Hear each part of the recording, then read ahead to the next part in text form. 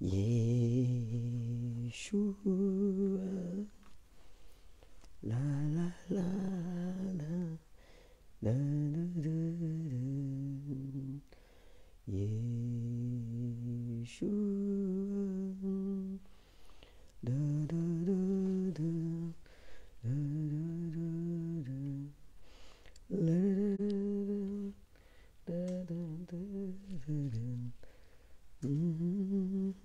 Mm-hmm. mm-hmm. Oh, yeah. Yeshua.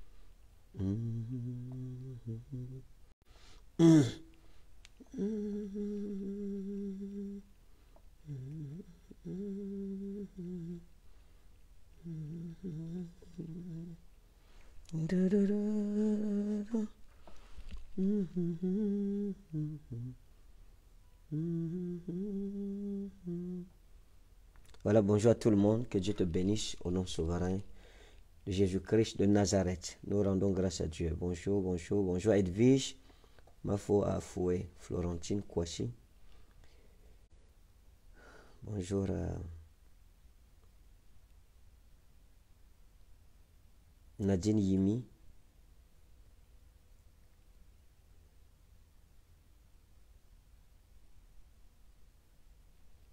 Bonjour à Shekina Douala.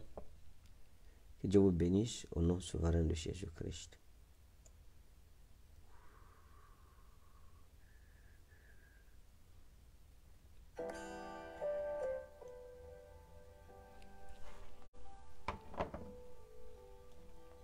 Voilà, bonjour à tout le monde. Comment vous êtes réveillé ce matin? Que la grâce de Dieu qui surpasse toutes choses vous soit abondamment donnée. Dans le nom précieux et souverain de Jésus de Nazareth. Voilà. Nous bénissons le Seigneur pour sa grâce, pour tout ce qu'il a fait en Côte d'Ivoire. Nous le remercions pour sa fidélité. Et ce samedi, ce sera la réception, la réception des, des partenaires financiers. Voilà, tous ceux qui sont inscrits comme partenaires financiers, nous aurons une réception tête à tête. J'aurai un tête à tête avec eux ce samedi. Donc je pense que l'équipe est en train de travailler pour essayer de d'arranger les choses pour que samedi la rencontre puisse euh, se tenir sans équivoque et sans embâche. Voilà, que Dieu vous bénisse au nom souverain de Jésus. Soutenir l'œuvre de Dieu, c'est une chose merveilleuse. Vous savez, comme j'ai l'habitude d'enseigner sur les actes de justice, il y a des choses qu'on fait aujourd'hui et qui nous garderont dans la vie éternelle. Vous vous souvenez du pauvre Lazare, qui était pauvre financièrement, matériellement, mais qui était riche en actes de justice, qui ne répondait pas lorsqu'on l'insultait, qui pardonnait, qui se souvenait de ce que Dieu lui avait enseigné et qui respectait cela. Donc, c'est vrai qu'après sa mort, il a bénéficié du salut. Ça ne sert à rien de posséder les biens de la terre si on n'en fait pas bon usage. Ça veut dire si on n'implique pas Dieu dedans, si on n'implique pas Dieu. Parce que c'est Dieu la source de notre bénédiction, de nos revenus en fait. Vous savez, tôt ou tard, qui que nous soyons ou que nous soyons, nous allons mourir.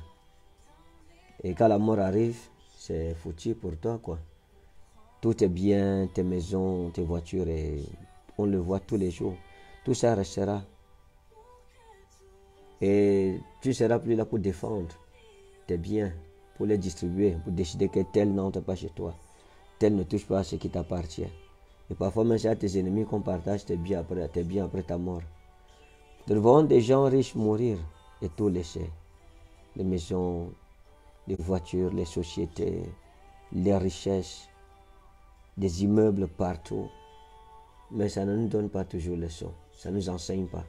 Et c'est un problème très sérieux. S'attacher aux biens matériels au point de mépriser ceux qui n'ont pas est une grande source de folie en fait. J'ai l'habitude de dire que voyez un homme orgueilleux, un homme qui se vante de ce qu'il possède, qui se vante de ce qu'il a, ou qui se vante de ce qu'il est, c'est que cet homme n'a pas compris la vie. Parce que ceux qui ont compris la vie, même s'ils possèdent la terre entière, ils demeurent humbles parce qu'ils savent qu'en réalité, toutes ces choses-là ne leur appartiennent pas. C'est ça la triste vérité, la simple réalité. Personne ne possède rien. Le riche est autant pauvre que les pauvres, et les pauvres est autant pauvres que les riches. C'est ça la vérité. Qu'est-ce que nous possédons sur cette terre? Rien du tout, mes amis. Qu'est-ce que nous possédons? La Bible l'a clairement énoncé en disant Nu, je suis sorti du sein maternel, et nu, je retournerai dans le sein de la terre. C'est ça la triste réalité, en fait. Euh, partir de ce moment-là, il n'y a pas de riche. Personne n'est riche. Le seul riche, c'est Dieu. C'est lui le vrai riche. Euh, un jour, j'ai prié et j'ai dit à Dieu, Seigneur, si tu me bénis, je te bénirai aussi. Le Seigneur m'a demandé, qu'est-ce que tu me donneras? Que peux-tu me donner? Ça fait plusieurs années aujourd'hui, je n'ai pas encore commencé le ministère. Le Seigneur, je lui ai dit, Seigneur, si tu me bénis, je te bénirai. Et mon Seigneur m'a demandé, toi, qu'est-ce que tu peux me donner? Je lui ai dit, Seigneur, tu vois, je peux te donner mon argent. Si tu me bénis, je te donnerai les offrandes en espèces. Et il m'a demandé qui a créé l'argent? Je lui ai dit, c'est toi, Seigneur. Il m'a dit, comment tu peux me donner ce qui m'appartient à moi déjà? Et il m'a demandé, Ferdinand, qu'est-ce que tu me donneras? Si je te bénis Je lui ai dit, Seigneur, je peux te donner des voitures en offrande. Il m'a posé la question de savoir ces voitures que tu me donneras en offrande. Avec quoi est-ce que vous les avez fabriquées? Avec du métal et du matériau que vous avez trouvé sur place sur la terre. Comment tu peux m'offrir ce qui m'appartient déjà? Et il m'a demandé, Ferdinand, qu'est-ce que tu m'offriras? Je lui ai dit, je peux t'offrir une maison. Et il m'a dit, la maison, on l'a construite avec quoi? Il y a quoi qu'on construit une maison avec que l'homme a créé? Il m'a dit, comment tu peux m'offrir ce qui m'appartient déjà? Et j'ai réfléchi, je lui ai dit, Seigneur, je te donnerai ma vie. Il m'a dit, c'est moi qui suis la source de vie. C'est moi qui t'ai donné la vie. Et comment tu peux m'offrir ta vie lorsque je suis la vie moi-même? Donc, je pense que à partir de ce jour-là, ma mentalité de servir Dieu a changé. Ma vision des choses a beaucoup changé. Il n'y a aucun homme riche sur la terre en réalité.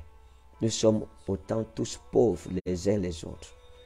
Le riche est pauvre comme le pauvre, le pauvre est pauvre comme le riche. Parce à la mort, nous n'emporterons rien. Nous laisserons toutes ces choses au vrai propriétaire. Même ceux qui combattront s'entretiront pour ces biens après notre mort, laisseront toujours son vrai propriétaire qui est Dieu. Voilà pourquoi l'homme sage sert Dieu en fait. Il reconnaît qu'il n'est rien parce qu'on n'a rien qui soit pour nous. Il n'y a rien que nous ayons créé sur la terre. L'homme n'a rien apporté sur la terre. Et l'homme n'emportera rien de la terre. La terre appartient à l'éternel avec tout ce qu'elle renferme. Nous enseigne la Bible. À ce moment, Jésus-Christ nous a ouvert les yeux lorsqu'il a dit Et que sert-il à un homme de gagner le monde entier s'il perdait son âme? Parce que chercher à gagner le monde entier, c'est courir après le vent, parce que le monde ne t'appartiendra jamais. Toutes ces choses que nous faisons, nous servirons le temps de notre vie, de notre pèlerinage sur la terre, et après cela, nous partirons. Et ce sera fini, mes amis. Et ceux qui nous louangeaient lorsque nous vivions, ceux qui nous haranguaient que nous haranguions, nous oublierons, tomberont dans la poubelle de l'humanité, dans les oubliettes. Au fil des ans, notre mémoire s'effritera dans les consciences de ceux qui, naguère et jadis, nous célébraient. La vie, c'est quoi, mes amis? La vie, c'est zéro. Être orgueilleux pour la beauté, c'est être insensé. Parce qu'un jour, ce corps que tu aimes, que tu adules, ce corps que tu adores presque servira à la vermoulure. Les vers le dévoreront, le mangeront jusqu'aux os. Et en ce jour, les femmes qui te couraient après ou les hommes qui te couraient après ne passeront même pas à côté de toi à cause de l'odeur nauséabonde que dégagera ton corps et mon corps. Donc, la vie est vanité. Quand la Bible le dit, c'est une réalité. Vanité de vanité, tout est vanité. Tu ne sais pas comment ton demain sera. La seule chose qui est sûre, le seul vrai investissement, c'est de connaître Christ et de le servir, de craindre son nom et de le louer, de l'adorer. Ça ne veut pas dire qu'il ne faut pas chercher à réussir dans la vie, il ne faut pas chercher à amasser des biens, il ne faut pas chercher à construire une maison. Non, ces choses ne doivent pas être l'objectif de notre existence sur la terre. C'est ça l'erreur en fait. Jésus-Christ a résolu le problème dans Matthieu chapitre 6, verset 33. Il dit recherchez premièrement le royaume de Dieu et sa justice et tout le reste vous sera donné par-dessus. Ça veut dire que la première richesse qu'un homme sage doit chercher sur la terre, c'est Dieu d'abord. Voilà pourquoi Dieu lui dira si quelqu'un doit se vanter, qu'il se vante de me connaître, moi l'éternel? De la première richesse d'un homme ou d'une femme sur la terre devrait être la connaissance de Dieu. Lorsque Dieu est avec toi, lorsqu'il est de ton côté, tu as la vie éternelle. Tes lendemains sont rassurés. Tu n'as pas peur de la mort. Parce qu'après ta mort, tu iras dans la Nouvelle Jérusalem, dans les demeures éternelles, où tu résideras pour toujours avec ton roi. Et la Bible dit que là-bas, il n'y aura point de nuit ni de jour. On n'aura pas besoin d'astres lumineux, ni de soleil, ni de lune, car le roi lui-même sera notre soleil. Il sera la lumière de la ville et nous consolera. Il n'y aura plus de pleurs, ni de cris, ni de lamentations, parce que Dieu lui-même sera au milieu de nous. Donc, bien aimé, c'était juste une parenthèse pour mon inquiétude disant que la priorité dans nos vies devrait être de connaître Dieu, de servir Jésus-Christ, de craindre Dieu. Toutes ces choses pour lesquelles nous abandonnons souvent Dieu, c'est un gâchis, mes amis.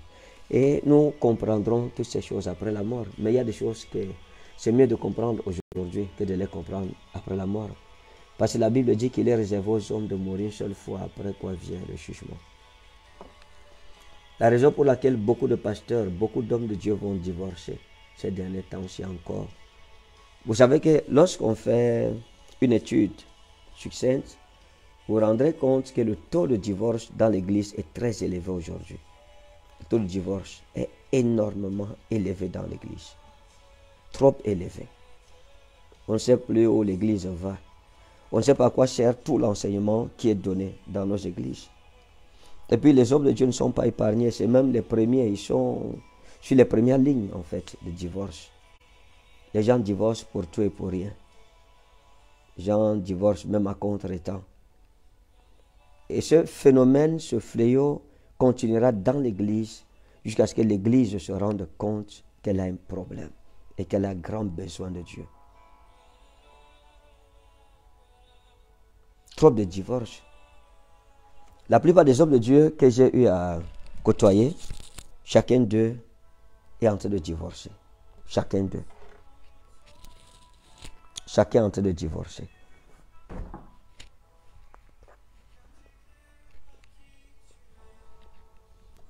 Il y aura encore beaucoup de divorces dans les couples des hommes de Dieu ces derniers temps. Je vais vous révéler pourquoi. Excusez-moi.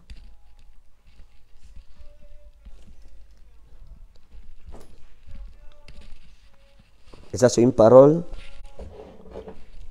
que les gens doivent écouter. L'Église est malade. L'Église de Jésus-Christ est malade.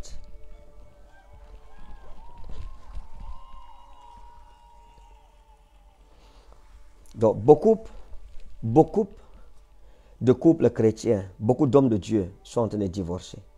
Beaucoup ont déjà divorcé et beaucoup divorceront encore. Et beaucoup d'enfants de Dieu aussi sont en train de divorcer. Beaucoup d'enfants de Dieu divorcent et divorceront.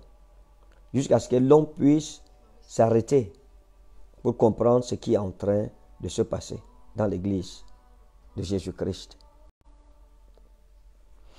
Vous savez, pendant que j'étais en train de prier pour toutes ces choses-là, j'ai regardé l'église. C'était un chantier, mais détruit. La vie sentimentale est un réel problème dans l'église de Dieu aujourd'hui. Ceux qui sont dans le mariage cherchent à sortir. Ceux qui sont hors du mariage meurent pour entrer. Donc il y a comme, ce mouvement d'interaction. Les gens sont dans le mariage, ils veulent absolument sortir du mariage. Ceux qui sont hors du mariage disent Seigneur, donne-moi le mariage où je meurs. Combien de foyers chrétiens connaissez-vous qui sont heureux? Combien sont-ils? C'est-à-dire qui ne font pas les façades, qui ne sont pas hypocrites. Combien? Combien d'hommes de Dieu vous savez qui sont heureux dans leur foyer?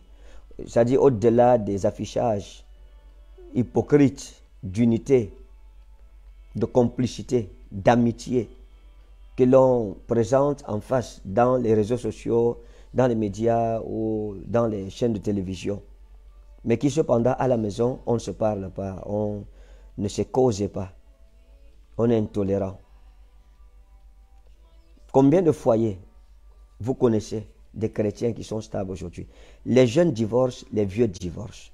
Il n'y a plus d'âge en réalité. Et même ceux qui sont dans les fiançailles se séparent en fait. L'église est malade, mes amis. La vie sentimentale dans l'église, l'assurance sentimentale est devenue un réel problème. Les problèmes d'infidélité déjà à la base, qui n'épargnent presque personne. Que ce soit dans les fiançailles, aujourd'hui dans l'église, il est difficile. Il est difficile. Il est difficile de rencontrer un frère qui est sérieux. Il est difficile de rencontrer une sœur qui est sérieuse. C'est difficile. Le plus souvent, c'est les hypocrisies. La sœur que tu vois, elle chante à la chorale, elle est sérieuse. Tu te dis, waouh, voilà une enfant de Dieu, si je peux avoir une femme comme celle-là. Mais tu ne sais pas qu'après avoir chanté à la chorale, elle dort avec les hommes. C'est ça la triste réalité en fait dans l'église. Le frère que tu vois, tu te dis non, ça c'est un frère. Il est zélé, il chante à l'église, il dirige la prière. Quand il parle la langue, c'est comme si les fondements de l'église vont se branler.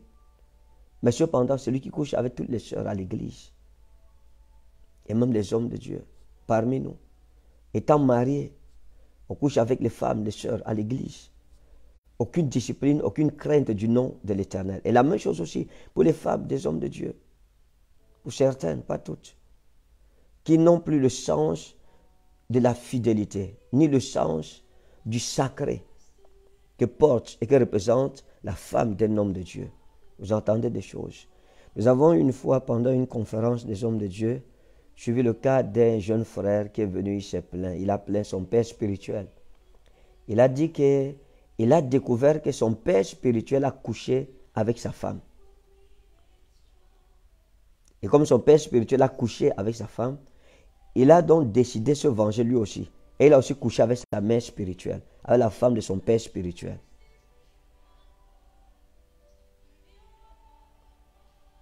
Et donc, le père a couché avec la femme du fils et le fils a couché avec la femme du père. Et puis je me suis posé la question de savoir comment est-ce que c'est faisable. Comment c'est faisable? Comment est-ce que l'Église en est arrivée là? Comment est-ce que ces choses sont-elles vraies? Lorsqu'il a raconté cette histoire, je vous avoue que j'étais comme dans les vapes, dans les nuages. Je virevoltais. Je caracolais dans les nuages. Et j'ai pleuré, et j'ai pleuré. J'ai pleuré devant Dieu. J'ai pleuré. J'ai pleuré. J'ai pleuré. J'ai pleuré devant mon Dieu. J'ai pleuré devant le Seigneur. L'église est malade, mes amis. L'église est malade. L'église est malade. L'église est pleine de personnes qui aiment Dieu à la parole, mais dont les cœurs sont incirconcis. L'église est malade. L'église, les infidélités dans l'église, l'infidélité est devenue le repas commun, la chose la mieux partagée dans nos églises aujourd'hui. Malgré tous les enseignements qui sont donnés, malgré tous les enseignements, il est difficile dans nos églises de voir une sœur qui décide, une sœur qui dit, moi, je crains le Seigneur. Et parce que je crains le Seigneur, je vais lutter pour préserver mon pasteur. Je ne dis pas que ça n'existe pas, ça existe, mais elles sont rares. Elles sont très rares. Elles sont rares, les femmes dans nos églises aujourd'hui, qui peuvent dire non, je ne peux pas accepter éteindre la lampe de Dieu. Au contraire, lorsque vous regardez bien, on vous calcule.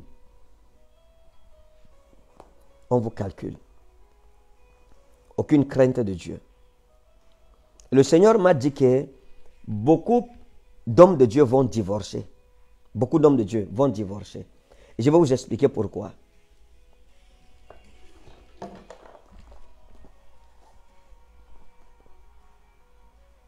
Beaucoup d'hommes de Dieu vont divorcer. Beaucoup ont divorcé et beaucoup vont divorcer. Alors je parle, beaucoup d'hommes de Dieu sont sur le point de divorcer. D'autres sont ensemble avec leurs épouses. Mais en réalité, spirituellement, ils sont déjà divorcés. D'autres n'ont plus de rapport sexuel. D'autres ne dorment même plus dans la même chambre. Et beaucoup de foyers chrétiens souffrent de la même maladie. Tellement de problèmes, tellement de dissentiments. Pourtant, le mariage est simple. Le mariage est très simple, mes amis. Ça, je vous l'avoue. Et je veux parler sans vergogne. Le mariage est très simple. C'est nous qui compliquons le mariage. Pour qu'un mariage réussisse entre deux personnes, il faut que chacun puisse se simplifier, que chacun se simplifie lui-même, que chacun passe par l'équation de la simplification. Tant que tu ne peux pas te simplifier, il y a un problème. Tu ne peux pas être prêt pour le mariage, tu n'es pas prêt. Tant que tu ne peux pas te simplifier.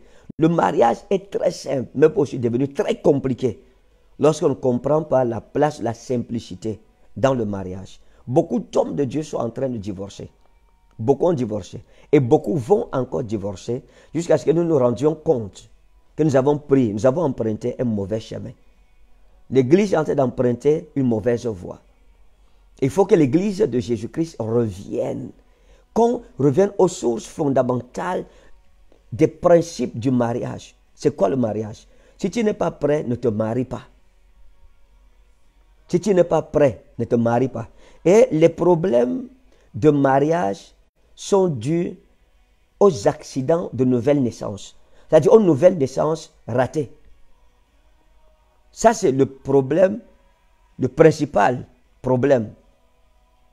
les nouvelles naissances ratées. les nouvelles naissances ratées. Excusez-moi. Lorsqu'une personne rate sa nouvelle naissance, lorsque la nouvelle naissance n'est pas authentique, lorsqu'elle n'est pas originale, ça va créer des problèmes dans le mariage. Ça va créer, il y aura, il y aura divorce dans tous les cas. Parce que les cœurs ne seront pas bons. Lorsque, vous savez, il y a des malformations de naissance spirituelle. Ça, il faut que les gens le sachent. Il y a des malformations de naissance spirituelle. Ça veut dire que il y a des personnes dont la nouvelle naissance a raté. Ils sont mal nés de nouveau. Ils sont, ils sont mongols, des mongols spirituels. D'autres sont mal nés de nouveau et ils naissent de siamois. Ils naissent en tant que siamois. D'autres ont des malformations. D'autres ont de grosses têtes.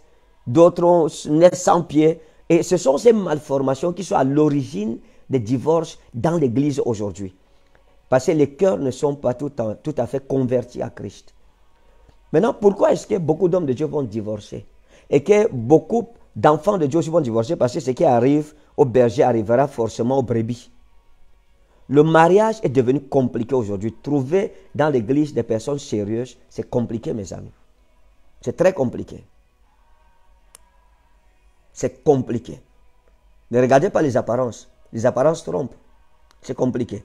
Tu voir quelqu'un, il est vêtu comme un saint, vraiment pur. Quand tu regardes son habillement, son accoutrement, mais quand tu vois ce que la personne fait dans le secret, c'est à couper le souffle. Aucune, crainte de Dieu. Pas question, pas moyen de dire non, ça c'est le péché, je refuse. Je me conserver plus pour Dieu. C'est difficile dans l'église aujourd'hui. C'est-à-dire que les frères et les sœurs dans l'église sont plus inconvertis que quand ils étaient même païens. Plus inconvertis. C'est-à-dire la crainte de Dieu est en train de quitter l'église. La crainte de Dieu, l'église est en train de devenir une religion. L'église est en train de devenir une religion. Maintenant, pourquoi est-ce qu'il y a des divorces Et pourquoi il y en aura Je vais commencer par le rôle de la femme et je vais finir par le rôle de l'homme. Si vous êtes marié, écoutez-moi sérieusement, si vous avez quelqu'un qui est marié ou qui veut se marier, partagez-lui le lien de la vidéo pour sauver une vie, pour sauver un couple, un couple ou un couple en devenir. La première chose, c'est que la femme d'aujourd'hui a perdu les valeurs des femmes bibliques, des femmes de l'époque de la Bible. Les femmes d'aujourd'hui ont perdu la valeur fondamentale qui faisait la beauté des femmes de la Bible. Vous avez déjà vu quel homme de Dieu dans la Bible marié, on a dit qu'il a divorcé. Aucun. Ça doit nous interpeller. C'est la mode de notre génération aujourd'hui. Dites-moi un exemple d'homme de Dieu dans la Bible que vous, vous connaissez, depuis que vous lisez la Bible, qui a divorcé. Parce que ça n'a pas marché dans son foyer. Les gens avaient des problèmes dans leur foyer. Il n'y a aucun foyer qui n'ait pas de problème. Ça, ça n'existe pas. Si quelqu'un dit non, dans mon foyer, nous, on n'a jamais de problème avec ma femme, il est menteur. Même Dieu a des problèmes de famille au ciel. Même Dieu a eu des problèmes de famille.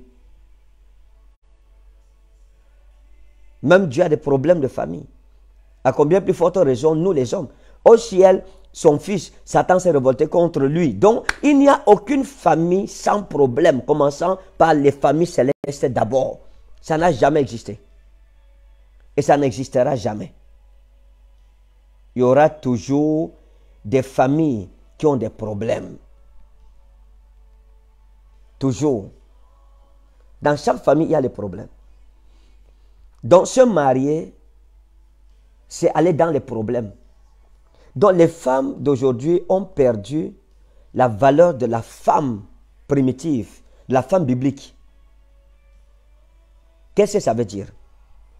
La Bible c'est que les femmes ont oublié comment elles ont été créées. Et toute femme qui veut réussir dans le mariage devrait comprendre la science de sa création. Ce qui détermine son rôle, sa responsabilité dans une maison. Laissez-moi vous choquer les femmes. C'est la femme qui tient la maison et non pas l'homme. C'est la femme qui tient la maison et non pas l'homme. Comment un homme marié peut sortir coucher avec d'autres femmes? Comment une femme mariée peut coucher avec d'autres hommes en dehors de son mari? Ça n'a aucun sens. Mais dans l'église, c'est plein aujourd'hui. Malheureusement, c'est plein. Vous voyez, le Seigneur m'a dit que les gens divorcent parce que les femmes de notre génération n'ont pas compris ce qu'elles sont, leurs valeurs et leur rôle dans leur foyer. Elles n'ont pas compris ça. Elles vont dans le mariage sans avoir compris qui elles sont en tant que femmes. Et le Seigneur a ouvert mes yeux et il m'a expliqué. Il m'a dit, est-ce que tu sais pourquoi j'ai créé la femme comme une aide semblable à l'homme? Parce que l'homme a été créé à l'image et à la ressemblance de Dieu, mais la femme a été créée comme une aide à l'image de l'homme, pas de Dieu, mais de l'homme. Et le Seigneur m'a montré, il m'a dit, le problème des femmes, c'est qu'elles ne comprennent pas le processus de leur création et leur rôle. Il dit, je te ferai une aide semblable à toi. Une aide semblable à toi. Et ça ne veut pas dire que toutes les femmes sont semblables à Adam. Non. Tu dois, toute femme est semblable à l'homme de sa vie, pas à tous les hommes. Elle est semblable à son Adam. Et c'est là que les femmes ne comprennent pas. Il y a eu Adam, il y a eu Abraham, il y a eu Isaac, il y a eu Jacob. Abraham, Isaac, Jacob ne sont pas Adam. Si tu ne peux pas épouser Abraham, tu vas mourir. Tu ne peux pas épouser Isaac, tu vas mourir. Tu dois épouser Adam, ton Adam.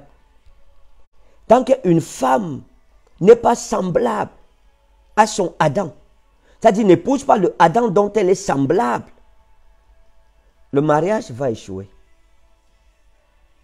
le mariage va échouer. Le mariage va échouer. Je vais vous expliquer pourquoi. La femme, dans son processus créationnel, n'a pas été créée comme l'homme. La création de la femme est sans souillure, sans tache, sans saleté. La création de l'homme est sale. La création de l'homme. L'homme a été créé à partir de la poussière, des éléments sales. Qui peut accepter se faire salir? Qui, lorsqu'il s'habille, accepte de s'asseoir par terre? Qui? Qui peut accepter ramasser une nourriture qui est tombée par terre et la manger? Qui? Même si cette nourriture est bonne comment? Quand ça tombe sur la terre, on ne mange plus. Pourquoi? Parce que la poussière est méprisable, mes amis. La poussière est sale. La poussière, c'est le symbole de l'impureté, de tout ce qui est mauvais, de tout ce qui est impur, de tout ce qui est souillé. Et c'est dedans que l'homme a été créé. C'est de cette impureté que l'homme vient, de la poussière, de la saleté. Mais la femme n'a pas connu cette saleté en fait. Dieu lui a épargné cela. La femme a été créée des produits finis de l'homme, d'une côte propre déjà, d'une côte qui a été traitée. C'est cette côte-là propre que Dieu a prise et qu'il a formé la femme à partir de cela. Maintenant, je pose une question. Normalement, comme Dieu a créé l'homme à partir de la poussière de la terre, il devait aussi ramasser la poussière et faire la femme. Pourquoi Dieu n'a-t-il pas fait les femmes à partir de la poussière de la terre Point d'interrogation. Point d'interrogation, mes amis. Et même point de suspension. Pourquoi les femmes doivent réfléchir à ça? Chaque femme doit se poser la question, pourquoi Dieu ne m'a-t-il pas créé à partir de la poussière de la terre? Je vais te donner la réponse aujourd'hui. Une femme ne doit pas se comparer à l'homme. Parce qu'on n'a pas le même processus créationnel. Non, pas du tout. Les femmes, depuis leur création, sont propres. Dieu leur a épargné d'être souillées. Elles ne viennent pas de la saleté, de la poussière de la terre. Non, elles viennent d'une côte propre qui n'était plus poussière. C'est de là qu'elles ont été purifiées. Elles ont été créées. Et donc Dieu va donc parler à la femme. Et il va, il va parler à l'homme. Et dira à l'homme, je te ferai une aide semblable à toi. Ce qui est important que tu dois comprendre, c'est au, au, niveau du terme une aide. Une aide. Une aide. Il n'a pas dit je te ferai un être semblable à toi ou un être humain semblable à toi. Dieu dit à Adam, je te ferai une aide. Ça dit quoi? Tu as besoin d'aide. Et chaque femme doit comprendre cela. Chaque homme que vous voyez, est un infirme qui a besoin d'aide. C'est un souffreteux qui a besoin d'aide. Et il n'y a que les femmes, la femme qui a la solution de ce problème dans la vie de chaque homme. Les femmes sont des aides. Quand on dit que tu es une aide, ça veut dire que tu as des capacités que la personne que tu vas aider n'a pas. Quand on dit que la femme est un sexe faible, il ne faut pas mal comprendre cela. Sur le plan de la création, la femme est une aide pour l'homme. Ça veut dire que l'homme a besoin d'une aide. Il a besoin d'être aidé. Aider pourquoi Aider à devenir comme la femme. Chaque homme que vous voyez, c'est-à-dire qu'aucun homme ne peut accomplir sa destinée sans aide. Ça, c'est la réalité. Sans aide. Chaque homme a besoin d'une femme, de sa femme, de son Ève, pour l'aider. L'aider donc à quoi? L'aider dans deux choses. L'aider premièrement à accomplir la destinée que Dieu lui a donnée. Voilà pourquoi la femme, c'est elle qui a la responsabilité du succès de son foyer, pas l'homme. C'est la femme, mes amis. C'est la femme. Parce que Dieu a mis en chaque femme une capacité d'aider l'homme à accomplir ce pourquoi Dieu l'a appelé. Voilà pourquoi Ève a été créée pour aider Adam à cultiver le jardin et à le garder. Parce que seul Adam ne pouvait pas réussir. Donc si une femme ne peut pas avoir cette capacité de pousser son homme vers l'accomplissement de sa destinée, alors elle n'est pas prête pour le mariage. La deuxième chose, pourquoi la femme est une aide pour l'homme? Pour amener l'homme à la perfection, parce que l'homme a été créé déjà imparfait au début, avec la poussière. Or, la femme, elle est déjà pure. Elle aide l'homme aussi à atteindre un état de pureté et de perfection comme elle. Elle est parfaite sur le plan créationnel. Donc voilà pourquoi la Bible dit que la femme est la mère de l'humanité. L'apôtre Paul dira que la femme sera sauvée néanmoins en devenant mère.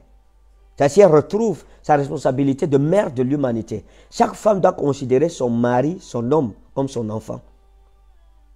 Si une femme ne peut pas supporter les caprices d'un homme, elle n'est pas prête pour le mariage. Non, ce n'est pas possible. Si tu es une femme, tu ne comprends pas que tu as des capacités plus que ton mari, plus que l'homme que tu veux épouser là. C'est que tu n'as rien compris. Les femmes sont plus fortes que les hommes. Les femmes sont plus équipées que les hommes. Le rôle de la femme, c'est d'aider l'homme à atteindre la perfection. Ce n'est pas le contraire. Ce n'est pas à l'homme d'aider la femme à atteindre la perfection parce que ce n'est pas l'homme qui l'aide la femme. C'est l'homme qui a besoin d'aide, pas la femme. La femme a juste besoin d'être aimée et comprise et protégée. Mais le rôle de la femme dans un foyer fondamental, il est capitalissime. Aider l'homme à accomplir le but de sa destinée, de sa création, de son existence sur la terre, et aider l'homme à atteindre la perfection dans son caractère. Ça veut dire quoi?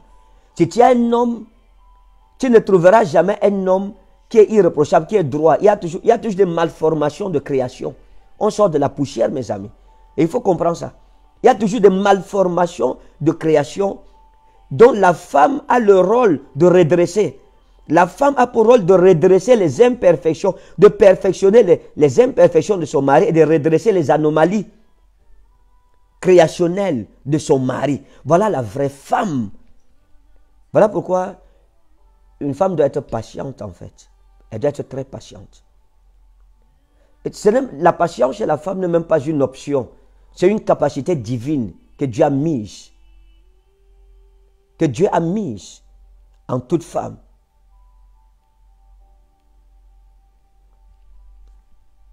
Donc chaque femme doit comprendre qu'elle est une aide pour l'homme.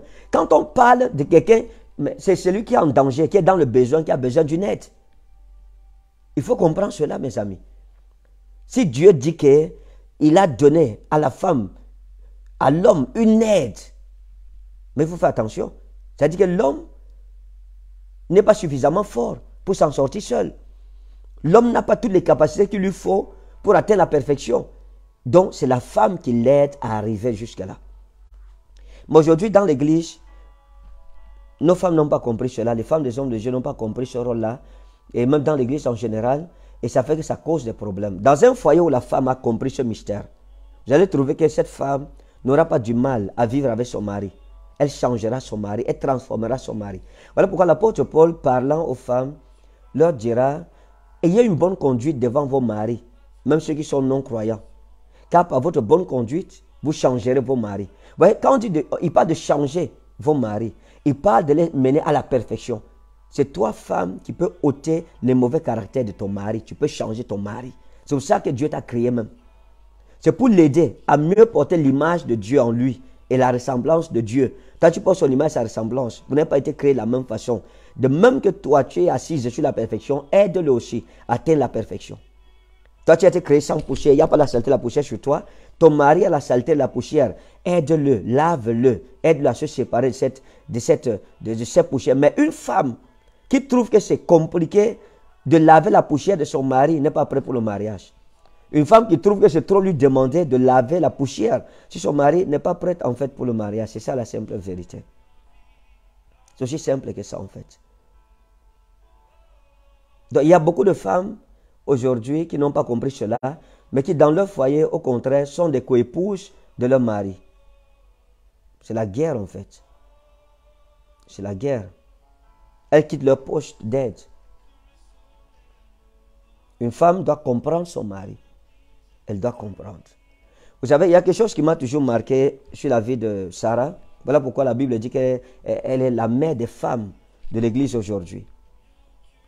Quelque chose m'a marqué sur Sarah, c'est que, vous vous souvenez, elle a dit à son mari, ok, prends ma servante. Son mari va coucher avec Agar, ils auront un enfant Ishmaël. Et puis, quelque chose va se passer. Et sa, servante va commencer à la mépriser, à l'insulter, lui manque de respect devant son mari et son mari ne dit rien. C'est ça l'homme. C'est ça l'homme. C'est la conséquence d'être fait à base de la poussière. Et donc, Sarah est allée vers son mari et a dit à son mari, chasse ma servante, elle me méprise. Son mari lui a dit non, je ne peux pas. C'est ça l'homme en fait. Parfois l'homme ne comprend pas toujours la femme. Mais la femme doit se tenir sur la base de son alliance avec Dieu. Je suis une aide pour mon mari. S'il ne comprend pas ça, il va comprendre. J'ai d'autres moyens. Dieu qui m'a placé comme aide à côté de lui va changer son cœur et prendre la fête spirituellement. Et Sarah n'a pas discuté avec son mari, elle ne s'est pas disputée avec Abraham. Les femmes d'aujourd'hui sont trop intellectuelles, elles sont trop intelligentes, elles sont trop belles, elles sont trop elles ont peut-être beaucoup d'argent, l'homme ne peut pas leur parler. Vous, entendez une femme qui dit, moi, l'homme ne peut pas me traiter n'importe comment, un homme ne peut pas me parler n'importe comment. Maman reste célibataire. Si un homme ne peut pas te parler n'importe comment, tu n'es pas fait pour le mariage, tu n'es pas fait pour le mariage, reste célibataire. Tu es bonne pour le célibat, mais pas pour le mariage. Et je suis convaincu que Sarah, lorsqu'elle a parlé à son mari, qu'elle appelait son Seigneur, combien de femmes peuvent appeler leur mari aujourd'hui mon Seigneur? Combien? Les femmes appellent leur mari Francis, Jean, Cédric, Paul, Vincent, Bruno. C'est ça la femme d'aujourd'hui. Mais la Bible dit que Sarah respectait tellement son mari qu'elle l'appelait son Seigneur. Tant de dire à une femme, appelle-moi mon Seigneur, va te gifler ou te donner un cacato guéri. Tant tu vas te demander, mais la femme, tu as fait le karaté quand? Elle ne m'a pas dit ça. Donc, mes amis, je suis convaincu que Sarah est allée parler au Dieu de son mari. Et la Bible dit que la nuit, pendant qu'Abraham dormait, le Seigneur lui a apparu et Dieu a défendu sa femme. Dieu lui a dit, donne à Sarah tout ce qu'elle te demande, c'est ta femme chasse la servante et chasse l'enfant. N'aie pas pitié d'eux. Chasse-les. Abraham a obéi à Dieu. Si ton mari ne te comprend pas dans une situation, il comprendra Dieu. Si ton mari refuse de te comprendre dans une situation, va te plaindre devant le Dieu de ton mari, ton mari te comprendra.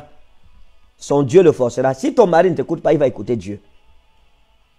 Donc, chaque femme devait être une collaboratrice de Dieu pour le bon fonctionnement de son foyer. Mais nos femmes ne prient pas. Elles sont charnelles. Ton mari est fâché, tu te fâches plus que lui. Il n'y a pas de non, vraiment, oh chérie, mon Seigneur, euh, ça va, je m'excuse, pardonne-moi, oh tu sais, voici, parle au cœur de ton mari. On ne connaît pas ça. La Bible explique la Bible dit que Rachel a été stérile pendant des années. Un jour, elle allait vers son mari. C'était normal. Son mari était serviteur de Dieu. Elle s'est dit, ok, comme il est serviteur de Dieu, je vais aller vers lui, je vais l'arrêter. Comme ça, il va arrêter son Dieu et son Dieu va me donner les enfants. Elle allait arrêter son mari. Elle a dit à son mari, donne-moi les enfants. Écoutez la réponse que son mari lui donne. Je parle de Jacob, le prophète, le patriarche. Son mari lui répond, pourquoi tu me déranges? Pourquoi tu veux m'arrêter? Suis-je Dieu qui t'a rendu stérile? Mes amis, on parle comme ça à sa femme. Et si on doit parler comme ça sa femme Mais Jacob, malheureusement, peu importe son niveau spirituel, lui aussi avait été tiré de la poussière de la terre. Et ça nous rattrape toujours en fait. Et une femme qui ne comprend pas que son homme a été tiré de la poussière de la terre, et donc qu'elle croisera des imperfections, et que c'est son rôle de laver son mari et d'en faire l'idéal dont elle a toujours rêvé, il n'existe pas de femme parfaite, il n'existe pas d'homme parfait. Ça, c'est clair. Une femme qui ne comprend pas ces choses-là trouvera que non, toujours aider mon mari, le comprendre, le redresser, c'est pénible. Et lorsqu'une femme commence à ressentir que son rôle est pénible, elle a déjà perdu la bataille. Son foyer, le diable va prendre contrôle de son foyer. Ça ne veut pas être une chose qu'on fait avec peine, mais chose qu'on fait avec joie, parce que c'est le rôle même de la création de la femme. Aucun homme ne peut cultiver son jardin seul. Il a besoin d'une femme pour l'aider. Donc c'est ça que les gens devraient comprendre, que les femmes devraient comprendre. Cet esprit de soumission a quitté l'Église aujourd'hui. Les femmes sont orgueilleuses, hautaines. Ton mari n'a pas fini de parler que tu l'as déjà porté, tu l'as lavé, tu l'as houspillé, tu l'as saboulé, etc. Moi, je pense qu'il faut que les gens comprennent cela. J'expliquais à une soeur un jour que L'homme peut encore être colérique, mais pas la femme. Non, la femme doit être l'incarnation de la douceur, de la compréhension. L'homme peut encore faire des caprices, fâcher. Bah, non. Mais la femme, c'est la mère. C'est pas seulement que la mère de l'humanité avec la bouche. Quand on dit mère de l'humanité, ça dit que tu es la mère de ton foyer. La mère de ton mariage. Une femme doit être patiente. Une femme doit être mature. Une femme doit comprendre son mari être. C'est-à-dire une collaboratrice. C'est Dieu qui t'a mis à ce poste. Il t'a nommé. Ce n'est pas l'homme qui t'a nommé. Tu travailles avec le Dieu qui t'a établi. Quand ça ne va pas, tu lui dis, voici, t'es avec ton serviteur là, ça ne marche pas. Aide-moi à intervenir si ça m'a dépassé. Dieu va intervenir en fait. C'est ça la réalité. Mais dans nos foyers aujourd'hui, il y a des guerres. Des guerres verbales, des guerres comportementales, des luttes sur des choses inutiles. Et une chose que les femmes doivent comprendre, qui que tu sois en tant que femme, tu dois comprendre que l'homme est né. C'est l'homme, c'est à l'homme que Dieu a donné la royauté. Donc chaque homme qui naît a en lui les germes de la royauté, de chefferie. L'homme est le chef de la femme. Dans le jardin, Dieu a créé l'homme. Il lui a dit, je te donne domination sur tout. Il n'a pas dit à la femme. Non, c'est après que la femme vient. Et il faut que chaque femme comprenne cela. Une femme qui n'est pas patiente, une femme qui n'a pas la maîtrise de soi, une femme qui est colérique, n'est pas prête pour le mariage. L'homme est un chef. Vous allez remarquer que même quand vous sortez, vous prenez une femme où il y a les singes, c'est un exemple que je donne, où il y a les singes. Quand les singes voient une femme, même si elle est grande comment, ils vont s'attaquer à la femme. Mais s'il y a un petit garçon, les singes auront peur. Pourquoi? Parce que même les animaux reconnaissent notre chefferie.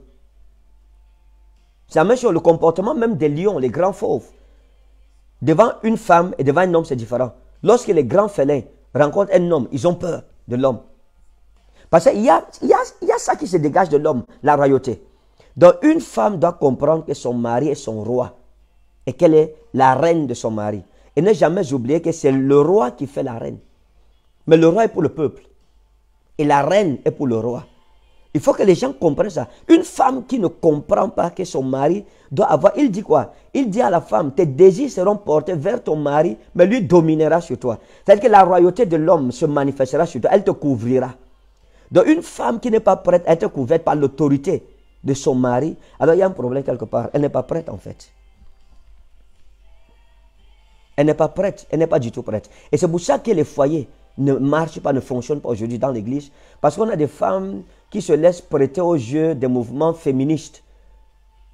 L'égalité, l'égalité de droit. L'égalité de sexe, je voulais dire. Et c'est un problème dans l'église aujourd'hui. Donc une femme qui ne comprend pas ces choses-là, quand Jacob a répondu comme ça à sa femme, elle n'a pas argumenté avec son mari. Elle ne lui a pas dit, ah, regarde, tu me parles comme ça, mais c'est comme méchant. Regarde alors comment tu me parles. Je t'avais envoyé de venir me chercher chez mes parents. Oh, ah, la bouche de la femme n'est pas faite pour mal parler à son mari, mais pour lui parler avec douceur et ramener son cœur. Je pense que Rachel est aussi allée prier. La Bible dit que le tour qui est venu, Dieu a donné deux enfants à Rachel qui ont dépassé tous les enfants de sa soeur Léa. Parce qu'elle n'a pas mal répondu à son mari. Donc une femme qui répond mal à son mari, qui prend son mari comme son égal, ou bien, je ne sais pas, comme son chiffon, elle n'a rien compris du mariage en fait. Le roi doit être honoré. Il n'y a aucun homme sur la terre qui peut accepter d'être méprisé. Mais s'il aime la femme, comment? C'est clair. Et vous devez savoir que c'est pour cela que c'est l'homme qui donne son nom à sa femme. La femme porte le nom de son mari. Vous n'avez jamais vu un homme qui se marie et qu'on appelle Monsieur Germaine ou Monsieur Élise. Ça n'existe nulle part. Ou Monsieur Marinette. Non. C'est l'homme qui donne son nom à la femme. Et quand tu portes le nom d'un homme, tu es sous l'autorité spirituelle de cet homme. Il est ton roi. C'est un signe de royauté en fait. Quand tu appelles Madame telle, c'est que cet homme-là est ton roi. Tu es dans son palais et tu es dans ton harem. Donc, ça, c'est l'une des choses qu'il faut que les femmes comprennent, qu'elles n'ont pas compris. Les femmes sont rebelles dans nos églises. Les jeunes femmes d'aujourd'hui sont rebelles. Elles sont autoritaires désobéissante, insoumise. Tu es une femme, tu voyages sans demander à ton mari. Et c'est plusieurs d'entre vous qui avez poussé vos foyers par vos comportements dans les problèmes jusqu'au divorce en fait. Parce que les femmes ne restent pas à leur place. Tu ne peux pas, madame, voyager sans demander la permission de ton mari. Si tu n'es pas prêt à faire ça, ne te marie pas. Sinon, tu vas divorcer. tu vas divorcer. Tu ne peux pas sortir comme tu veux, sans la permission. Je ne dis pas sans informer ton mari, sans demander la permission. Une femme qui ne peut pas demander la permission de son mari pour faire quelque chose et qui pense demander la permission veut dire que l'esclave n'est pas une femme, elle est un homme. Elle doit épouser un homme, pas une femme. Euh, elle doit aller épouser une femme. Elle doit épouser une femme. Elle doit épouser sa femme. Une femme qui ne peut pas rester à sa place. Vous savez que si Ève avait dit à Adam que je m'en vais au pied de l'arbre de la connaissance du bien et du mal, son mari, le péché là n'aurait jamais eu lieu. Ça n'aurait jamais eu lieu. On ne serait pas dans le problème dans lequel on est aujourd'hui. Mais lorsqu'elle a voulu prendre ses indépendances, et elle est partie, sans dire à son mari, et elle, elle a entamé une conversation avec le serpent. Oh, le serpent est dans le jardin avant même la création de l'homme. L'homme a travaillé pendant longtemps, on ne sait pas combien de temps exactement. Il n'a jamais causé avec le serpent. Mais le jour où la femme a décidé de voyager sans la permission de son homme, les dons copé. C'est la même chose. Toute femme qui devient rebelle à son mari conduira son foyer vers la destruction. Tu dois te poser la question, est-ce que je ne suis pas responsable quelque part des problèmes dans mon foyer, dans mon mariage? Ça, il faut te poser cette question. Ça, c'est important. Tu dois te poser cette question en fait.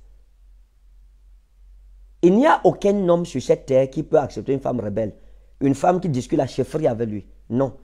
Quand j'étais au séminaire de théologie, un jour, il y a, y a un homme de Dieu qui nous a dit là-bas qu'il préfère que sa femme ne l'aime pas, mais qu'elle le respecte. Et, pour moi, ça m'a touché. Et ça a encore éveillé mon esprit. Il dit que je préfère que ma femme ne m'aime pas, mais qu'elle me respecte. Ça montre que la royauté, le côté roi de l'homme, on ne joue pas avec. Le côté chefferie, on ne joue pas avec mes amis. Il faut faire attention. Tu peux tout faire un homme, mais quand tu commences à mépriser un homme, à le traiter comme ton égal, mais si c'est comment, toi-même tu sacrifies ta relation avec cet homme. Ça c'est clair en fait. Tu sacrifies ton, ton mariage. Tu le perdras. Mais la femme, la Bible dit que la femme sage bâtit son foyer, mais la femme insensée le détruit. Vous savez que ce qui tue beaucoup de foyers, je parle de la, femme aujourd'hui, demain je parlerai des hommes, c'est le bras de fer. Vous voulez, tu ne peux pas faire le bras de fer avec ton mari. Quand ton mari a dit non, calme-toi. Tout simplement, calme-toi, dis d'accord. Lorsqu'il a mis son droit de veto, calme-toi, ça va. Reste tranquille. Ou tu peux prier. Tu dis à Dieu, Seigneur, voici ton serviteur, calme-toi. Mais si ton mari parle, tu parles. Il veut parler, tu parles, tu parles, tu parles, tu parles, tu parles, tu parles. Tu lui montes dessus, tu lui cries dessus. Tu grondes ton mari, tu es malade dans ta tête. Quelque chose ne va pas. Quelque chose ne va pas. Une femme sage bâtit son foyer. Elle comprend que son mari est son roi. Mais si ton mari ne travaille pas, mais si ton mari est ton petit frère, mais si ton mari touche moins que toi, mais si ton mari est pauvre et que tu as l'argent, tu es riche, il est ton roi. C'est Dieu qui a établi les choses comme ça. Si tu ne peux pas accepter ces conditions, ça veut dire que tu n'es pas qualifié pour te marier. C'est pour ça que les gens vont dans le mariage sans être prêts et ils en ressortent. Parce que beaucoup de femmes, pour elles, le mariage, c'est on va voir que je suis marié. Je vais m'appeler Madame telle. J'aurai la bague. J'aurai une longue robe. Ça, ce n'est pas le mariage, en fait. Le mariage, c'est la collision civilisationnelle. La collision culturelle. C'est là que ça devient difficile. Accepter l'autorité. À partir du moment où accepter l'autorité de ton mari est une pilule amère pour toi, tu ne réussiras pas dans ton mariage. Tu as mal commencé. Mais une femme qui accepte avec joie servir son mari comme son Seigneur, elle a tout compris, elle a tout gagné. Et je vous dis la vérité, un homme, aussi dur qu'il soit, lorsqu'il en face de lui est une femme soumise, une femme douce, lorsqu'il est fâché, il parle, il parle. La femme ne pas avec douceur. Non, mon chéri, mon papa, oh regarde. Cet homme, si c'est comment il deviendra un agneau. Il deviendra un agneau. Laisse parfois ton mari avoir raison, même quand bien même tu penses qu'il a tort. Lorsqu'il va cogner sa tête, il reviendra te donner raison. Au lieu de le brusquer, de le forcer, de chercher à t'opposer à son autorité, ne t'oppose jamais à l'autorité de ton mari. Lorsque tu te rends compte que tu n'es pas comprise, va prier son Dieu. Prie son Dieu. Parce que si tu entres en guerre contre lui, tu vas empirer les choses pour éviter. Va en prière, tout simplement. Parle à son Dieu. qui est ton Dieu, qui t'a mise là. Dis-lui, Seigneur, c'est toi qui m'as établi ici. J'ai autorité sur cette maison. Satan, tu ne peux pas détruire mon foyer. Mon mari ne peut pas devenir ce que je vois qu'il devient. Et tu parles. La plupart des femmes, vos maris sont allés dehors à cause de vous. Ça ne justifie pas qu'un mari aille dehors. Non. Parce que sa femme se comporte mal. Non, pas du tout. Le mari doit rester sur place. Donc, l'homme doit respecter sa femme, la femme doit respecter son mari. Et les femmes doivent comprendre que une femme dont le foyer doit réussir doit être une femme patiente. Malheureusement, beaucoup de femmes aujourd'hui ne sont plus patientes. Elles sont impatientes, nos femmes aujourd'hui. Impatientes. Appelle l'homme, ouvre la bouche pour parler. Il n'a pas fini que, pam, tu as coupé derrière ton mari. C'est pour ça aussi. Et tu ne rencontreras jamais un homme parfait. Chaque homme a son défaut. Parfois, on n'a pas les mêmes défauts, mais chacun a son défaut. Tout comme chaque femme a son défaut. Je reviendrai sur la responsabilité des hommes aussi demain. Mais je vais dire aux femmes, je vous en prie, je vous en supplie, respectez, honorez le mariage. Si tu veux t'engager avec un homme, la soumission n'est pas un esclavage. Être soumise, c'est obéir à Dieu. Être soumise, c'est occuper ton rang devant Dieu. Être soumis, c'est donner la fierté à ton Dieu. Être soumis, c'est honorer Dieu, plus que ton mari même. Oh, j'ai vu quelqu'un donner un commentaire ici, le frère Joseph. Il dit, ma femme est la perfection qui manque à ma vie. Justement, quand une femme entre dans ta vie, tu dois réussir. Vous savez, chez moi, on dit que tu es quand tu épouses une femme, sois attentif. Regarde si ta vie progresse. Si ta vie ne progresse pas, c'est que c'est une mauvaise femme que tu as épousée. Ce n'est pas ta femme. Parce que normalement, quand tu trouves ta vraie femme, tes choses vont commencer à prospérer. Parce qu'elle va t'apporter des idées. Une femme sage, elle est une source d'inspiration pour son mari. Elle est une source de conseil. Elle est la plus grande conseillère de son mari. Elle est une orientatrice pour son mari. Elle est une observatrice indépendante. Quand elle regarde autour de son mari, elle sait que ça c'est bon, ça c'est pas bon. Elle va dire à son mari, telle personne n'est pas bonne, telle personne n'est pas bonne, telle personne là n'est pas bonne, telle là, tu peux aller avec elle. C'est ça le rôle de la femme. Elle préserve son mari. Elle est une haie, une barrière, une tout fortifié autour de son mari. Elle garde son mari. Elle préserve son mari. Elle conseille son mari. Elle dit à son mari, non, regarde.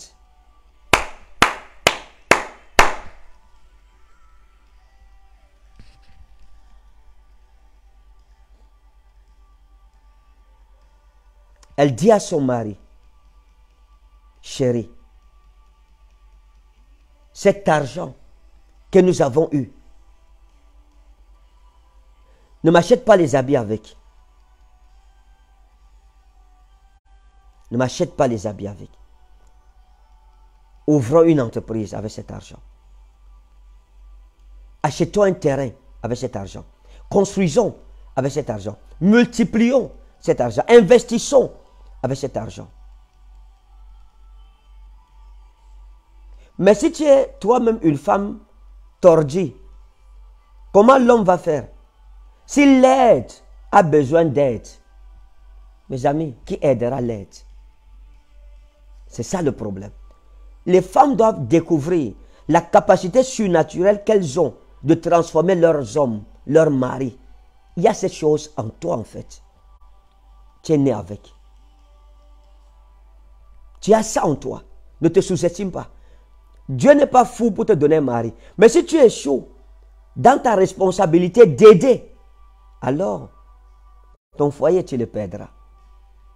Une femme n'est pas faite pour être orgueilleuse. C'est l'homme qui peut encore être orgueilleux. Vous allez remarquer dans la société aujourd'hui, même dans la Bible, lorsqu'une femme commettait un adultère, on la lapidait. Mais montrez-moi un verset biblique. On a lapidé un homme parce qu'on l'a attrapé en flagrant délit d'adultère. La femme du Nouveau Testament que Jésus-Christ a sauvée. La Bible dit qu'on l'a arrêté en flagrant délit d'adultère. Quand on dit flagrant délit, ça veut dire que quelqu'un était sur elle. Mais où était cet homme qui était sur elle? Pourquoi c'est elle seule qu'on lapidait? Parce que dans la conscience collective, universelle, Si l'homme commet un adultère, c'est tolérable, c'est compréhensible. Mais quand c'est la femme, c'est grave. On dit non, pas la femme, pas la femme. Vous entendrez ça dans les cultures, dans toutes les cultures du monde. Lorsque un homme trompe sa femme, on dit non, ça va, on peut comprendre, non, c'est pas bien, c'est vrai, mais il faut qu'il arrête et tout le monde comprend, ça passe. Mais lorsque c'est la femme, on dit mais attends, toi qui dois être l'aide pour perfectionner ton mari, si l'aide a besoin d'aide, c'est qu'elle n'est plus une aide. Donc vous voyez que si dans la conscience générale universelle, c'est comme ça que la femme est perçue, à quoi forte raison dans l'église aujourd'hui. Une femme ne doit pas être suffisante, orgueilleuse, hautaine. Non. Si tu es une femme orgueilleuse, ne te marie pas. Tu ne resteras pas longtemps dans ce mariage. Si tu es une femme suffisante, une femme qui ne peut pas demander pardon, une femme qui ne peut pas se rabaisser, s'il te plaît, ne te marie pas. Tu n'auras aucun homme sur cette terre qui acceptera cela. Parce que les hommes sont des rois. Et tant qu'une femme ne comprend pas, n'assimile pas le concept de la royauté de l'homme, elle ne s'en sortira pas dans le mariage. Et c'est pour cela, plusieurs d'entre vous, vous êtes rebelles. Tu parles à ton mari n'importe comment. Tu lui réponds n'importe comment. Tu manques de respect à ton mari, mais tu oublies que c'est lui qui t'a fait porter son nom. Combien d'hommes aujourd'hui peuvent accepter encore, donner leur nom à une femme Lorsqu'un homme te fait porter son nom, il fait de toi madame telle. Honore-le déjà à cause de cela parce que le mariage n'est plus une chose répandue dans notre société aujourd'hui. Les femmes, il y en a tellement. Les yeux. si tu vois un homme, il vient vers toi, il demande ta main, il te dote, il te pose, il te met l'alliance, il met pour ça. Honore-le, respecte-le d'abord pour ça. Respecte-le d'abord pour ça. Même s'il te fait quoi, arrête-toi d'abord, dis quand même que l'homme-ci m'a sorti de la maison de mon père et de ma mère, il m'a sorti de la honte. Il m'a donné l'honneur parce que, quoi qu'on dise, il y a honneur sur la femme mariée. Il y a un honneur sur la femme mariée. La femme mariée a un statut élevé par rapport à la femme célibataire. Une femme célibataire, sois riche comme tu veux. Lorsque tu n'es pas marié, on t'appelle mademoiselle. Il n'y a pas d'honneur là-dedans. Pas du tout d'honneur. Même si tu es riche comment, tu es belle comment, tu n'as pas de mari, il y a un problème. Le mariage est pour les femmes dignes. Et un homme qui se marie est un homme noble. Donc, il faut comprendre cela. Les femmes devraient comprendre cela. Et pour finir, il faut prier. Une femme doit être spirituelle. Une femme doit être spirituelle. Tu ne peux pas contrôler ta maison par la chair. Le diable va détruire ton foyer. Il va te dépasser. Une femme doit être spirituelle. Une femme spirituelle prie pour son mari, prie pour ses enfants. Lisez Proverbe 31. La Bible dit qu'elle se lève avant le lever du soleil. Elle apprête sa maison. Elle travaille pour sa maison. Elle prie. Elle, dirige sa maison bien. Elle est la gardienne de sa maison. Je vais finir avec ceci. Ce que je vais dire maintenant est dur. Parce que j'ai vu les gens écrire en commentaire que c'est dur. Mais ce que je vais dire maintenant, c'est encore plus dur. C'est plus dur. Je vais le dire et je vais finir ici voyez, le mariage peut être décrit comme une famille de chasseurs. Voilà comment le mariage est. Le mariage s'illustre comme une, une famille de chasseurs. Dans une famille de chasseurs, l'homme sort et chasse du gibier. Lorsqu'il a fini de chasser le gibier, il le ramène à la maison. Quand il ramène ce gibier, il le remet à sa femme. Sa femme récupère le gibier, le rôle de l'homme est fini. La femme va préparer, elle va laver le gibier, elle va nettoyer, elle va préparer et elle va servir toute la maison. En commençant par son mari. Et ils vont manger ensemble. Voilà le mariage. C'est tout ça le mythe du mariage. Mais si tu es une femme et que ton mari sorte chasser du gibier, et il ramène le gibier. Tu lui demandes de nettoyer, de préparer et de servir la maison. Tu n'as rien compris du mariage. Rien du tout. Tu divorceras tôt ou tard.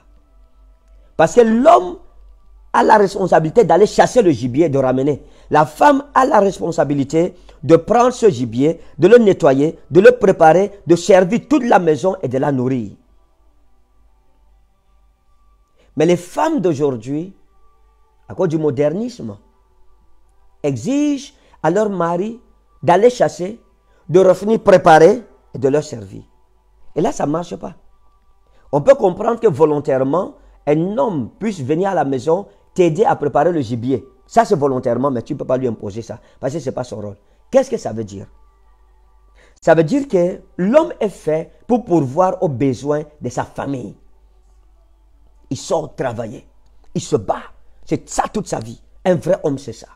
Il travaille dur pour qu'il ait à manger dans sa maison. Pour que ses enfants aillent à l'école. Pour que sa maison soit vêtue. Pour que les gens soient nourris. Pour que les factures soient payées. Dès qu'il est parti, il a fait cela. Quand il revient, il remet le butin à la femme. C'est la femme qui doit gérer maintenant l'argent. Gérer comment la maison doit fonctionner. Donner une place, un rôle à chacun dans la maison. Comment les choses doivent se passer à l'intérieur de la maison. C'est la femme qui en juge. C'est elle qui en est la responsable. L'homme n'est pas responsable de cela. Voilà pourquoi tout homme sage ne peut pas faire venir quelqu'un dans sa maison sans passer par sa femme. C'est ta femme qui est chargée de ces choses. Donc, mon cœur est déchiré, je vous assure. Parce que nos femmes, malgré les enseignements, ne comprennent pas ces choses. Parfois, des hommes vont chasser. Ils ramènent le gibier, la femme refuse de préparer. Le gibier se pourrit. Parfois même, il y a certains hommes dans leur foyer, ils vont chasser. Ils ramènent le gibier, la femme prépare mal parce qu'elle est fâchée. L'homme n'arrive pas à manger, il est mal nourri dans sa propre maison. Parfois, les hommes vont chasser. Certains ramènent le gibier. La femme prépare, c'est tout le monde, sauf le chasseur. C'est pour ça que les foyers, les gens divorceront, divorcent et continueront à divorcer. Tant que nous ne comprendrons pas ces choses, tant que chaque femme ne comprendra pas ces choses, même si tu es fâché comment madame, ne manque jamais de respect à ton mari. Même si tu es fâché comment, ne parle jamais mal à ton mari. Et, je vais répondre à une question. Un jour, un mari a grondé sa femme. Et sa femme est venue se plaindre chez moi. Que, mais pourquoi mon mari me gronde? Il me gronde en tant que qui? Il n'a pas le droit de me gronder. Je lui ai dit, ah non. Il a tout le droit de te gronder. Parce qu'il est ton chef. Tu es son chef. Tout chef, il y a un moment où il frappe du poing sur la table. La femme sage, lorsqu'elle se rend compte qu'il y a une discute avec son mari et que son mari est en train de se tromper sur un sujet et qu'elle est sûre que son mari se trompe et que le mari ne voit pas, elle se tait. Elle le laisse aller. Lorsqu'il va cogner la tête, il reviendra lui donner raison. Et il apprendra ses dépens à écouter sa femme. Ne parle jamais mal à ton mari, madame. Ne lui réponds jamais mal. Même si tu as raison. Après être calme. C'est ça la femme. C'est ça la vraie femme. C'est ça la vraie femme. Même quand tu as raison et que ton mari aveugle, qui ne voit pas que tu as raison, et qu'il campe sur sa position, qu'il est ferme, qu'il te parle avec dureté. Tais-toi, tu ne vas pas mourir. Tais-toi, ne parle pas. Tu peux même pleurer. Prie Dieu. Quelqu'un demande, Daddy, a-t-il le droit de gronder devant les enfants? Non. Ah, non. Demain, je vais revenir sur les hommes. Non. Aucun homme n'a le droit de gronder sa femme devant l'église ou devant les enfants. Ça, c'est amener les gens à mépriser ta femme. Je veux parler du respect. L'homme doit respecter sa femme au même titre que sa femme doit le respecter. L'homme doit protéger sa femme en fait. Tu ne grondes pas ta femme devant les gens ou devant tes enfants. Je ne veux pas parler de ceux qui tapent sur leur femme. On reviendra là-dessus. Donc, ta femme, s'il y a n'importe quoi, tu l'amènes dans la chambre. C'est vice-versa. Une femme ne doit pas répondre mal à son mari devant les gens, lui parler mal. Non, tu ne t'opposes pas à ton mari. Lorsque mari te pousse, il épouse une aide semblable à lui et non pas une dirigeante d'un parti d'opposition politique.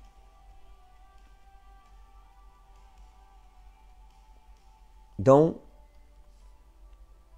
l'homme doit honorer sa femme, la femme doit honorer son mari. Père, nous prions que nos foyers soient sauvés, que ton église soit visitée.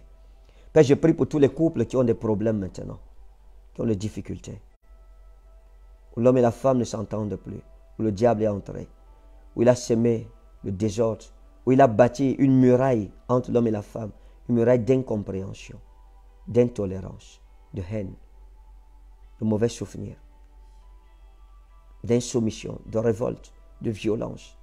Seigneur, que ces murs sataniques soient brisés au nom de Jésus. Ramène la paix dans nos foyers. Seigneur, nos cœurs sont devenus dire, dire vis-à-vis de ta parole. Cause de cela, la crainte de ton nom s'est éloignée de nous, Seigneur. Nous sommes devenus si charnels que nous ne comprenons plus rien. Père Saint, manifeste ta gloire. Glorifie ton nom. Transforme nos cœurs. Les cœurs des hommes comme les cœurs des femmes. Transforme nos cœurs et manifeste ta gloire, Jésus. Délivre-nous et sauve-nous de tout caractère qui n'est pas de toi. Je prie pour toutes les femmes qui me suivent, qui ont été blessées, qui ont perdu le goût de la soumission. Restaure leur cœur. Je prie pour celles qui pleurent devant toi, que tu changes leur caractère, que tu les aides à se soumettre. Seigneur, montre-leur la valeur de la gloire de la soumission. Seigneur, que tout foyer en difficulté soit restauré, soit visité. Seigneur, je t'en prie. Que les blessures dans les cœurs soient, soient guéries. Que la simplicité revienne. Que le pardon revienne. Que l'amour revienne. Que le foyer soit reconstitué à travers cet enseignement, mon Dieu. Parce qu'il est écrit, il a envoyé sa parole. Elle est guérie. Que cette parole guérisse quelqu'un. Que quelqu'un demande pardon. Que quelqu'un se repente. Que quelqu'un change. Que quelqu'un abandonne ses mauvaises habitudes, son mauvais caractère pour devenir une personne meilleure. Je t'en prie, Seigneur. Merci parce que tu m'as répondu. Merci parce que tu consoles les cœurs. Tu restaures les foyers brisés. Même ceux qui étaient déjà séparés, tu les ramènes, Seigneur. Pour ta gloire et ta seule gloire. Que les femmes qui étaient rebelles deviennent des modèles. Que les hommes qui étaient orgueilleux deviennent humbles. Que les foyers soient rebâtis. Que les enfants soient heureux. Que les parents soient heureux. Afin que tes desseins continuent à s'accomplir dans nos familles. Père, merci parce que tu as accompli cela. Dans le nom précieux de Jésus-Christ, j'ai prié. Amen.